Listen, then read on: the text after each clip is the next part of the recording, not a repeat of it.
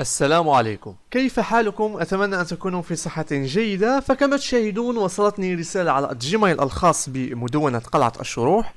رسالة شخصية لأنها موجودة في مكان التحديثات.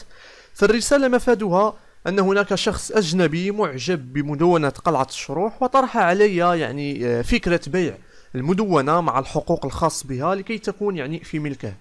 وكما تشاهدون في الرسالة أنه يتساءل إذا كنت أنا مهتم ببيعها بمبلغ مناسب وفتح النقاش حول ذلك.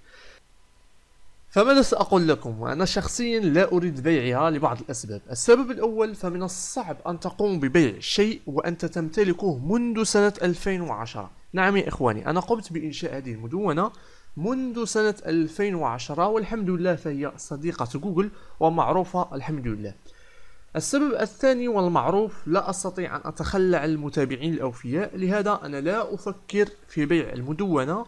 لدينا آه، متابعين أوفياء يتابعوننا في شتى الدول العربية والأجنبية ودائما يعني أسعى لإرضاء الجميع الزوار الكرام بتقديم كل ما هو جديد بمواضيع تقنية في شتى المجالات. وأنا آه، دائما يعني أحاول أن أضع لكم الجديد والمفيد إن شاء الله. والسلام عليكم وتحياتي لكم.